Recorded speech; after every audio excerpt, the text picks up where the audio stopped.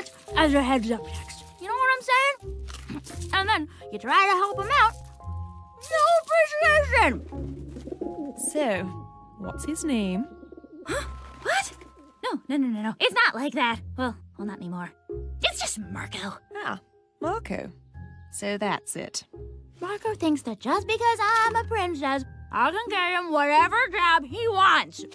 Well, can't you? No. Fine, yes. But that's not the point. Well, now that he's here, do you want him to stay? Uh, yeah. No.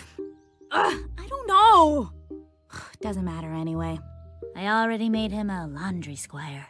He's squiring for the knight of the wash. Well, then your problem will take care of itself, dear. What's that supposed to mean? No squire has ever survived more than a day in the laundry room. It's the most dangerous place in the castle. Marco, I gotta go. Thanks for the popcorn. That wasn't popcorn. Lavabo, where's Marco? On his first quest, cleaning out the lint catcher, milady. Oh no. Sparkle slushy juice left! Wait, princess! Marco?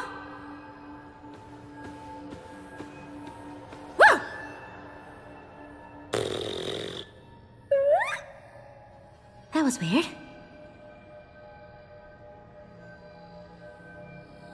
Marco! There you are! No, don't. You're gonna wake it up.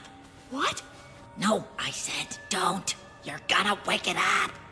What? I said you're gonna wake it up.